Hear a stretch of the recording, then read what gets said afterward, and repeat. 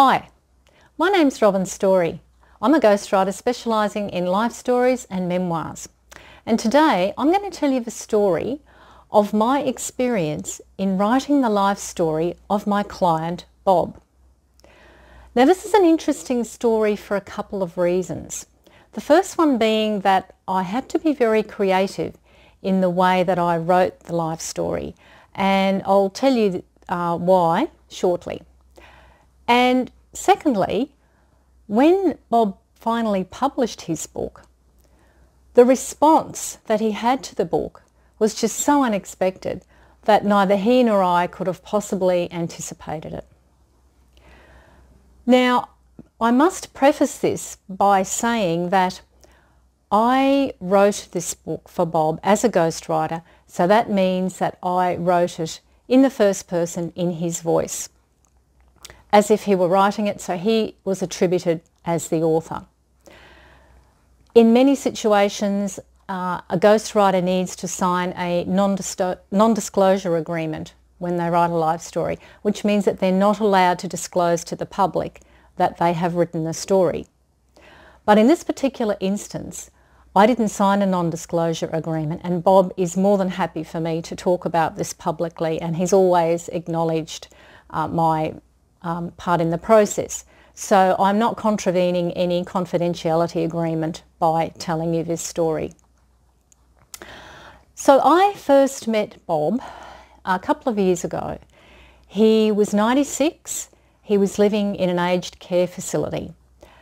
And he had been wanting someone or he had been wanting his life story written for over 20 years and just had never been able to find the right person to do it. So after he told me a little bit about his life, I soon realised that this was going to make a really good story. And when I agreed to write it for him, he was absolutely ecstatic. I'll tell you briefly about his life, um, just so that you know that the basic story. Uh, Bob was born in Scotland but came to Australia as a very young child and as a teenager he became interested in the ambulance and he joined the volunteer ambulance service. And when World War II broke, up, broke out he went to the recruiting office and eventually was um, put into the 7th Field Ambulance. And he served in the 7th Field Ambulance during World War II in New Guinea. And when he came back from the war he joined the civil ambulance in Queensland, where he lives, and he consequently had a 39-year career in the civil ambulance. When he first joined, after he came back from the war, he was absolutely amazed to find that there was no training and that officers were just expected to pick it up as they went along or learn from the senior officers. So Bob and a fellow officer got together and tried to instigate a training program for ambulance officers.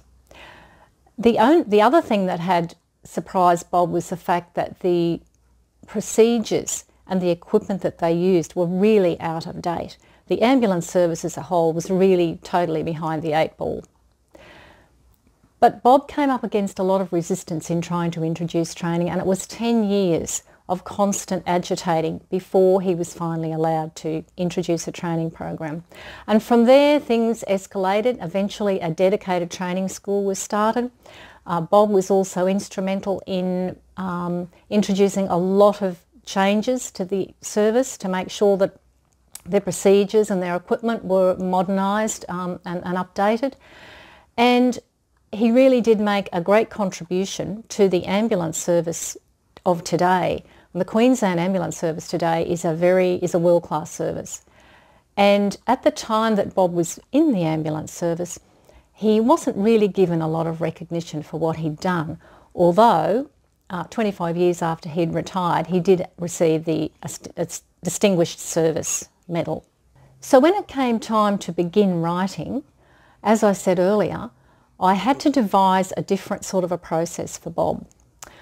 My normal process when writing a life story for a client is to interview them and get the information that I need over a number of sessions, record those interviews, have them transcribed and then write up the story.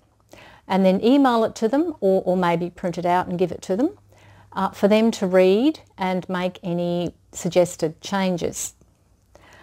But in Bob's case, this wasn't going to work because firstly, he was vision impaired and secondly, his computer skills were pretty minimal, which is fairly normal for someone of his age. So uh, doing the whole thing and then sending it to him to read wasn't going to work. He did have a magnifying machine, which meant that if you printed something out in very large writing, he would then be able to place the page on the machine and read it. But this was a very slow process and to read a whole book like that would have been a very laborious and painstaking process. So we devised a system whereby uh, after I'd um, done a few interviews, I would write up a couple of chapters of the book and I would then go to Bob and I would sit and read them out to him. Now he was also hearing impaired so I had to make sure that I read it clearly and succinctly so that he could understand it. And Bob would then let me know if I'd got any facts incorrect.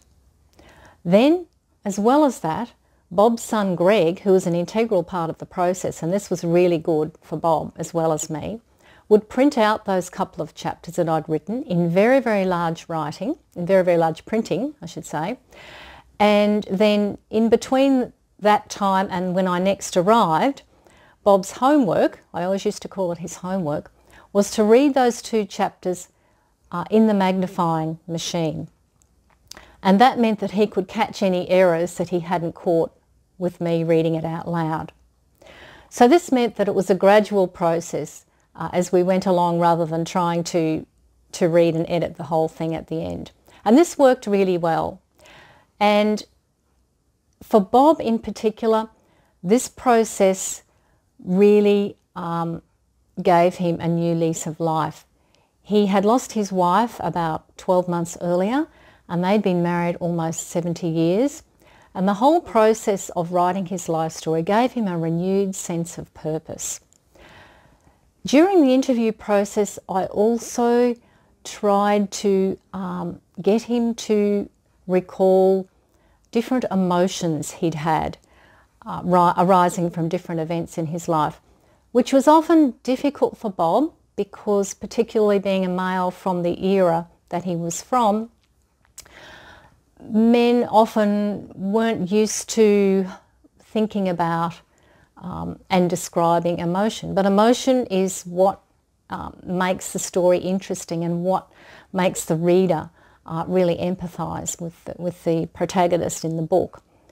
So, um, and, and, this often resulted in, in, in, some tears because, especially when we talked about um, his wife, uh, that was still very raw and, and so it was an emotional time for Bob. But as well as that, the whole process of talking about his life, and we went, started right from the beginning, from as, as far back as he could remember as a young child and worked our way through chronologically. And it was amazing how many memories floated up to the surface that he'd, that he'd totally forgotten. And so this was, this was a good process for him uh, to be able to reconnect with those memories. So once we'd finished writing the book and Bob had approved the final draft. I then sent the book away to be professionally proofread. Now some ghostwriters don't include proofreading uh, as part of their process, but I always do and I factor the cost into the quote that I give because I always like to pre present a polished and clean manuscript to the client um, especially if they're going to publish it as Bob's intention was to do that. So once it came back from the proofreader and I'd made the necessary changes, and the proofreader really just checks for, for spelling, grammar, punctuation. So that technically was the end of my um, job with him. Most ghostwriters don't include publishing as part of their process. However, Bob wanted to publish this in a book so that members of the public would be able to read it as well as his, his family. And so for an extra fee, I uh, told him that I would then uh, facilitate the publishing process for him. So this entailed me going and approaching various publishing publishers, getting quotes. Um, we decided together on who would be the most appropriate publisher. I then liaised with the publisher during the whole process of, of that. Um, and then when we were sent the printed proofs, I then went through them and um, made any, any further changes. Uh, even after it's been proofread, you'll often find once it's printed on the page that there are things that have been missed.